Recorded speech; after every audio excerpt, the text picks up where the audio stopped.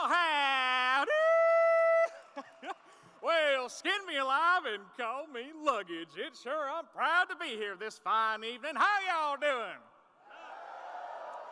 Oh, sorry, I reckon you didn't hear me. I said, how y'all doing? well, for those of you I haven't had the pleasure of meeting yet, my name's Matt Winter, and I come all the way down from Concord, North Carolina to be with all y'all tonight. Now, back home, I come from a group of people called IT. And what IT stands for is for, well, I never did ask, so I don't know. But I'd imagine it would stand for something like, I don't know, IT, IT, something like intelligent and terrific. Something like that. I'd imagine that'd be about right. Now, you know, us IT folk get calls from all y'all with having problems with y'all's PC, that being your personal computer and such. Well, you know, seems to me y'all got that itch. Y'all know what itch I'm talking about, right? Like, ooh, like you got fire ants in your pants, like, oh, this happened. I better call IT. Oh, my computer's acting up. I better call IT.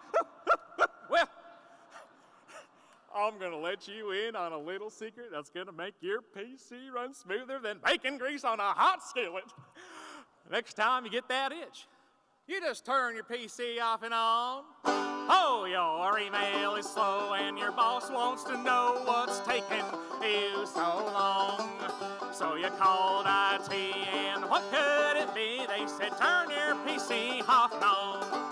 Oh, turn your PC off and on when something's going wrong. To make performance back, keep your updates on track and turn that PC off and on.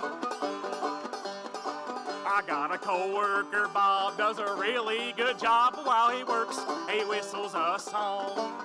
But when his browser seems slow and Amlink won't go, he turns his PC off and on. Got a call from Fred, said Excel was dead. He got fed up and threw it on my lawn. Well, I called him and Smirk said I got it to work. I just turned his PC off and on.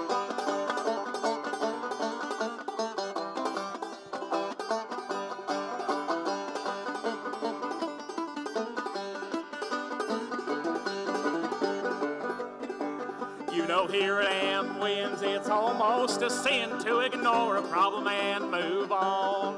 I got a message from ITOG. What could it be? How about turn your PCs off and on? Oh, turn your PC off and on when something's going wrong.